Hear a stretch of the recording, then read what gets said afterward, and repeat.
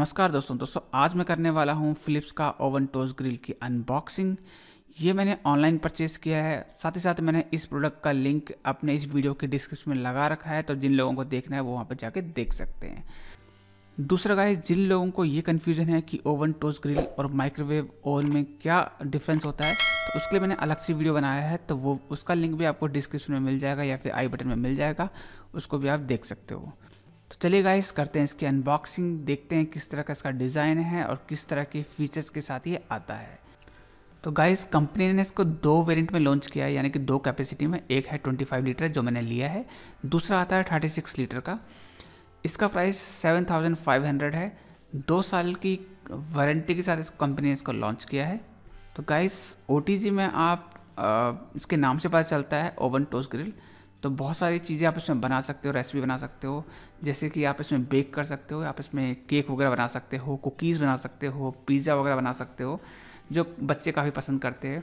साथ ही साथ, जैसे कि अभी न्यू ईयर आया था तो काफ़ी सारे लोग घर पे ही स्नैक्स वगैरह पसंद करते हैं लाइक पनीर टिक्का हो गया या फिर कोई तंदूरी चिकन वगैरह हो गया तो वो भी आप इसमें आराम से बना सकते हो। यहाँ पर आपको कोई इलेक्ट्रिक तंदूर की ज़रूरत नहीं पड़ेगी तो यहाँ पर ये आपका इलेक्ट्रिक तंदूर का काम भी कर रहा है, यानी कि बारबेक्यू का काम भी कर रहा है। इसको लेने से पहले मैंने काफ़ी रिसर्च किया था ऑनलाइन काफ़ी सारे रिव्यूज़ देखे। तो मुझे फ़िलिप्स के ब्रांड का ये ओटीजी दिखाई दिया, जिसमें काफ़ी सारे ऑप्शन थे लाइक ऑटो मेन्यूज़ दिया रखा है गाइस इसमें आप सभी रेसिपी लाइक पिज़्ज़ा केक उसको सिलेक्ट कर सकते हो। तो उसका जो टेम्परेचर है और उसका जो टाइमिंग है, वो ऑटो सेट हो जाता है और वो आप कम ज़्यादा भी कर सकते हो अपने अकॉर्डिंग और साथ ही साथ गाइस इसमें आपको चैम्बर लाइट भी दे रखी है। सपोज़ करो कुछ आप, इसमें आप रेसिपी बना रहे हो तो आप उसको बाहर से देख सकते हो कि वो कितना भी पक चुका है। तो दोस्तों, जब भी इसकी आप अनबॉक्सिंग करते हो, यानी कि इसको जब भी खोलते हो तो काफ़ी आराम से करना है सारा काम। किसी की हेल्प ले सकते हो, क्योंकि ये इसमें ग्लास वगैरह भी होता है और इसकी जो एक्सेसरीज हैं, वो भी आपकी बैंड हो सकती हैं। तो उसको आराम से आप तो किसी की हेल्प लेके ही इसकी अनबॉक्सिंग कीजिएगा। तो गाइस सबसे पहले हम इसकी बिल्ड क्वालिटी की बात करेंगे। तो बिल्ड क्वालिटी में गाइस इसका जो हैंडल है सिर्फ़ वो प्लास्टिक का है अदरवाइज़ डोर ग्लास का है और पूरी बॉडी इसकी मेटल की है, यानी कि स्टील की है। बाहर से पूरा ब्लैक कोटेड स्टील है और काफ़ी बढ़िया क्वालिटी का है। तो इसमें जो एक्सेसरीज आई है वो मैं निकाल लेता हूँ। इसमें ये टोंग है और रोटेसरी रोड दे रखी है। तो आपको जब भी कोई होल चिकन टाइप का कुछ बनाना है रोस्ट करना है ग्रिल करना है तो आप इसमें लगा के इसको यहाँ पर रोटेसी रोड में ग्रिल कर सकते हो। बाकी का इसमें इसका यूज़र मैनुअल दे रखा है आपको ज़रूर पढ़ना चाहिए ताकि आप उसके सारे फीचर्स के बारे में जान सके। साथ ही साथ गाइस इसमें एक रेसिपी बुक दे रखी है, जो कि काफ़ी अच्छी बात है और इसमें आपको सारी रेसिपी देखने को मिलेगी, जैसे पिज़्ज़ा कुकीज़ वगैरह, जितनी भी चीज़ें होती हैं वेज और नॉन वेज आइटम सब कुछ इसमें दे रखा है। तो आप उसको देख के भी काफ़ी चीज़ें बना सकते हैं। अदरवाइज़ यूट्यूब में तो आजकल सब कुछ है। तो चलिए गाइस जो उसके साथ एक्सेसरीज आती हैं, इसको देख लेते हैं। एक ये ग्रिल आती है, जिसको आप एडजस्ट कर सकते हो टॉप में सेंटर में या फिर बॉटम में। जिस पर आप कुछ भी आप ग्रिल या रोस्ट कर सकते हो। तो ये भी स्टील का है। और ये इसके स्लॉट बने हुए हैं तीन। तो आप कहीं भी इन खांचों पे इसको लगा सकते हो। दूसरा गाइस इसमें एक एल्यूमिनियम की ट्रे आती है जिसको आप नीचे रखोगे ताकि जब भी आप कुछ ग्रिल में बना रहे हो, कोई ऑयली चीज़ या कोई मसाले वाली चीज़ तो वो जब नीचे गिरता है तो आपकी ये जो ओटीजी है वो गंदा ना हो और आप उस ट्रे को धो सकते हो। ठीक है गाइस तीसरा जो इसमें ट्रे मिलता है गाइस ये एक बेस का काम भी करता है लाइक आपका पिज़्ज़ा है, आपकी कुकीज़ है आपका केक है तो वो आप इस पर रखेंगे। और इसको भी आप ऊपर नीचे यानी कि टॉप में, सेंटर में, बॉटम में कहीं भी एडजस्ट कर सकते हो। अगर आपका बड़ा केक है तो आप उसको नीचे रख लीजिए। उसके बाद गाइस इसमें एक आता है, एक रोटिसरी रोड आती है। साथ में इसका होल्डर आता है ताकि जब वो हॉट हो तो उसको आप इससे निकाल सकते हो।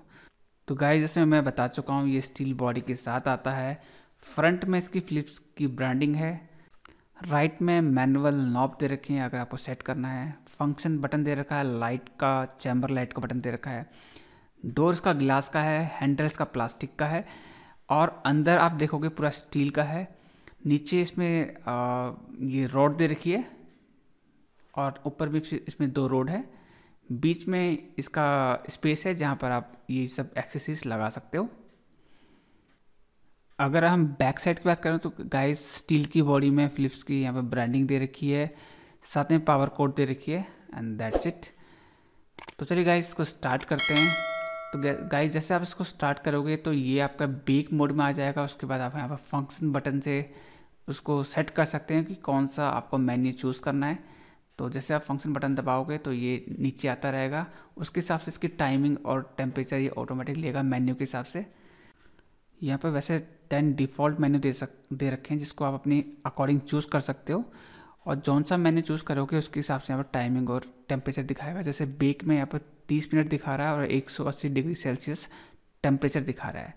और अगर आप चाहते हो उसको मैनुअल सेट करना है तो नीचे नॉब दिया टाइमिंग का, उसको घुमाओगे आप क्लॉकवाइज तो मैं आपको दिखाता हूँ। तो आप देखोगे टाइमिंग आपको आप बढ़ा भी सकते हो और फिर इसको कम भी कर सकते हो। सेम चीज़ टेम्परेचर के लिए भी है। उसी के नीचे टेम्परेचर का नॉब दे रखा है। तो टेम्परेचर को भी आप घटा बढ़ा सकते हो और मैक्सिमम 230 डिग्री तक आप उसको लेके जा सकते हो। साथ में इसमें एक चैम्बर लाइट दी गई है फ़ंक्शन बटन के बगल में, जो काफ़ी यूज़फुल है गाइस जब भी आप कुछ रेसिपी बना रहे हो तो बीच में आप उसको देख सकते हो कि वो अभी कितनी रेडी हुई है और उसको आप वन बटन पे ऑन और ऑफ़ कर सकते हो गाइस तो चलिए गाइस मैं आपको फ़िलहाल अभी एक पिज़्ज़ा बनाने की कोशिश कर रहा हूँ। तो उसको पहले हम जब भी कोई इसमें रेसिपी बनाते हैं तो पहले हम उसको प्री हीट पर लगाते हैं। तो इसमें फ़ंक्शन बटन में प्री हीट दे रखा है। तो ये मेरा पिज़्ज़ा मैंने अभी प्रिपेयर कर लिया है, जिसमें मैंने कैप्सिकम कॉर्न और चीज़ और टमाटोस डाल के बेक ले रखूँगा इसमें। तो बस प्री हीट होने वाला है। देन प्री हीट हो जाएगा तो देन इसके बाद मैं इसमें, इसको रख के आपको दिखाता हूँ। तो गाइज़ मैंने इसको रख दिया है। तो थोड़ा सा मैं इसको फास्ट चलाता हूँ वीडियो को आप देखिएगा। तेरह मिनट का ऑटो टाइम था इसका। अब मैं थोड़ा सा वीडियो को फास्ट करूँगा तो आप देखोगे। पिज़्ज़ा यहाँ पर बन रहा है। उसी तरह गाइस मैंने यहाँ पर पनीर टिक्का भी ट्राई किया। खैर, मुझे इतना बढ़िया बनाना आता नहीं है तो मैंने जस्ट ट्राई किया। तो काफ़ी बढ़िया बना वो भी। देन उसके बाद मैंने इसमें एक दो दिन बाद फिर केक बनाया।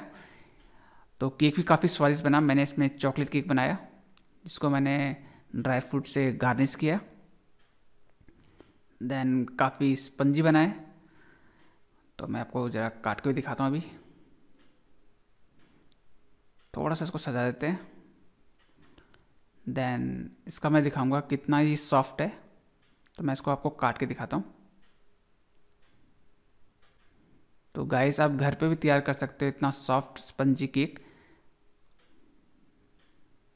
कभी भी आपका केक खाने का मन करे तो आप घर में बना सकते हो, बहुत इजी है इसमें बनाना। साथ ही साथ गाइस मैंने इसमें तंदूरी चिकन और तंदूरी फ़िश ट्राई किया, जो कि एकदम मस्त बना। तो गाइस बस यहीं पे मैं अपने वीडियो खत्म करूँगा। आपको हमारी वीडियो पसंद आए तो हमारी वीडियो को लाइक कर दीजिए। हमारे चैनल पर नए हैं, हमारे चैनल को सब्सक्राइब कर लीजिए। मिलते हैं नेक्स्ट वीडियो में, तब तक के लिए बाय बाय